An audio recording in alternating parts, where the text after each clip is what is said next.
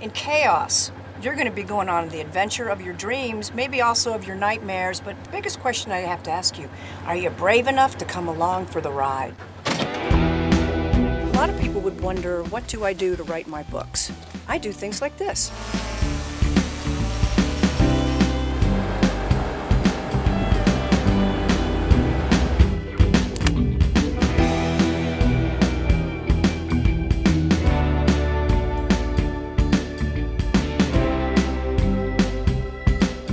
Line of work, if I can't go out and test things out for myself, I'm not going to be able to write about them in a way that you're going to want to read them. I want you to be standing here too and to enjoy and immerse yourself in the same experience.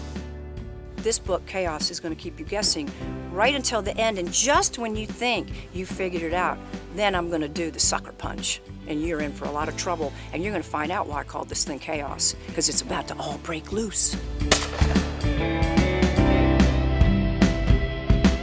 What we say in Scarpetta Land, just another day at the ranch.